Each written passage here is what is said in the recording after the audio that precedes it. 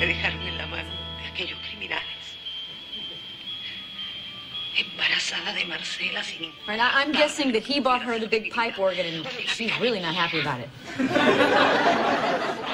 Daddy, I just... I can't marry him. I'm sorry.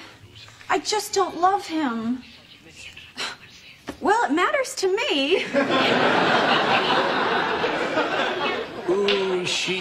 Not be wearing those pants. I say push her down the stairs. Push, her down, the stairs. Push her down the stairs.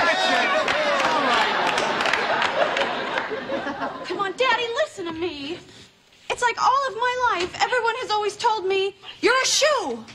You're a shoe, you're a shoe, you're a shoe. And then today I just stopped and I said, what if I don't want to be a shoe? What if I want to be a, a purse? You know, or, or, or, or a hat? No, I don't want you to buy me a hat. I'm saying that I am a hat. It's a metaphor, Daddy.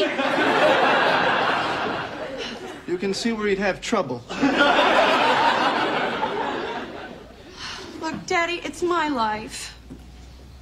Well, well, maybe I'll just stay here with Monica.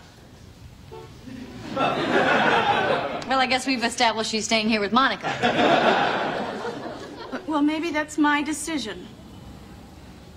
Well, maybe I don't need your money. Wait, wait, I said maybe.